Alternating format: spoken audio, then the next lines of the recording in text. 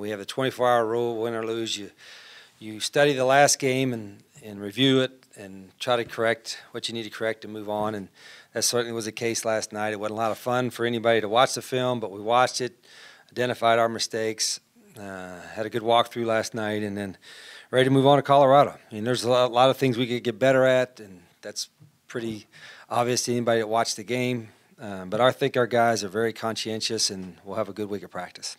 There's so many things we could do better. There's there's always calls we'd like to have back as coaches. There's uh, balls that we dropped that our guys hadn't dropped all year. There's uh, we we missed a couple protections that we hadn't missed all year. They got pressure with four man rush, which hadn't happened a lot all year, and so it just wasn't. And I think we pressed a little bit. You know, overall, as offensively when things weren't going well, we you know, instead of just letting the game come to us, I think we pressed a little bit. And sometimes when you're uh, a real strong competitor like our guys are, that happens. And, and it was a lesson learned. We just, you know, when you're playing an athletic team, and a very good team like that on the road, you know, you just got to not panic and not worry about things and just try to execute, and eventually it'll fall into place. No, and we've been in other close games, and this was a close game, and we still had our opportunities at the end, and, and we messed up in the kicking game there.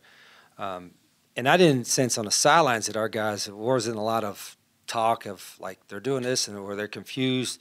You know, they felt comfortable with what they were doing. They didn't really change what they were doing the whole game. It just was a matter of of uh, them making some plays. You got to give them some credit too, and, and us not making them.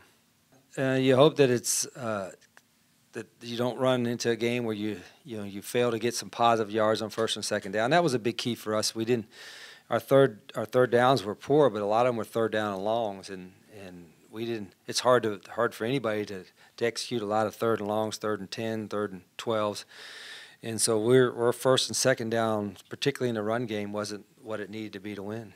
You know, compared to other teams, we're probably pretty similar. The concern is that we were thin coming into the season, and we were hoping to be healthy going into the last six weeks, and we're not as healthy physically as I'd like to be. But I'm sure every coach would tell you that um, we've backed off in practice a couple weeks ago. We only go in pads on one day a week, as it's Tuesday and Wednesday's a half pad. So it's not like we're going to beat them up during the week, and, but we're playing a lot of plays. I think everybody in college football is playing a lot of plays, and and eventually we'll get to the point where we're we should be closer to two deep and rotating a lot of guys in, um, but we haven't been there the last couple years in the program. We're not there right now, and our goal is to develop that kind of depth in the next couple years.